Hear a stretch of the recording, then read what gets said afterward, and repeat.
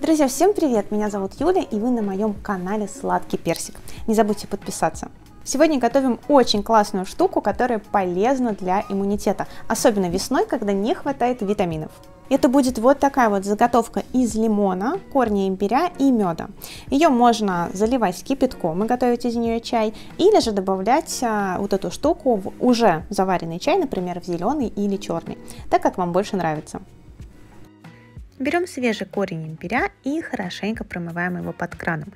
Кожуру обычно я не снимаю. Если вы не любите имбирь с кожурой, то, конечно же, можете его очистить. Но мне кажется, что это лишняя трата времени. Нарезаем корень имбиря на произвольные кусочки и берем лимон.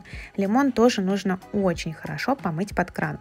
Желательно со специальным средством для мытья овощей и фруктов или хотя бы с хозяйственным мылом, ну или содой.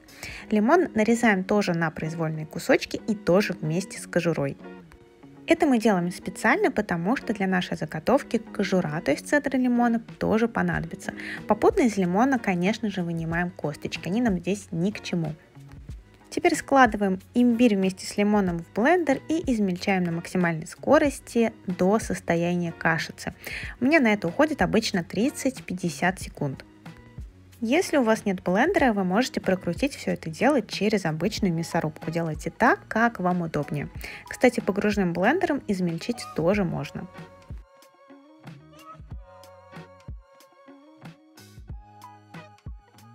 Вот такая вот красивая ярко-желтая штука у нас получается.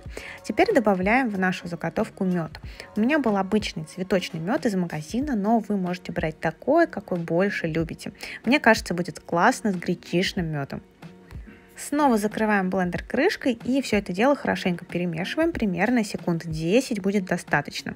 Нам нужно, чтобы мед равномерно распределился по нашей заготовке. Мне очень нравится, как пахнет имбирь с медом и лимоном. Теперь берем стеклянную баночку с крышкой и перекладываем нашу заготовку в нее. В принципе, можно переложить и в пластиковую банку, почему и нет. Главное, чтобы крышку банки хорошо закрывалась и ее можно было бы поставить в холодильник. Такая заготовка хранится очень долго, несколько недель, и ее готовить очень просто. Мы просто накладываем, например, одну чайную ложку в чашку, заливаем все это кипятком или уже заваренным чаем, как вам больше нравится. Сахар уже можно не добавлять. Хоть мой муж не очень любит имбирь, как он говорит, но чай с этой штукой пьет с удовольствием, я завариваю ему всегда с собой в термокружку. Уверена, что рецепт вам тоже пригодится и очень понравится. Не забудьте, пожалуйста, поставить лайк и подписывайтесь на мой канал.